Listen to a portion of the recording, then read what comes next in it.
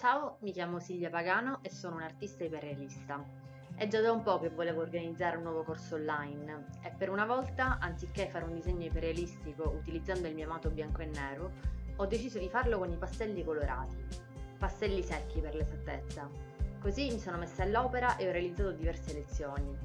I due materiali principali che serviranno sono un foglio, e in questo caso utilizzo un foglio pastel matte della Claire Fontaine, e i pastelli secchi Caran d'Ache, che hanno un'ottima coprenza e consistenza e aderiscono in modo ottimale alla grana del foglio, così da riuscire a creare l'intensità e il tono che si vuole in modo davvero deciso.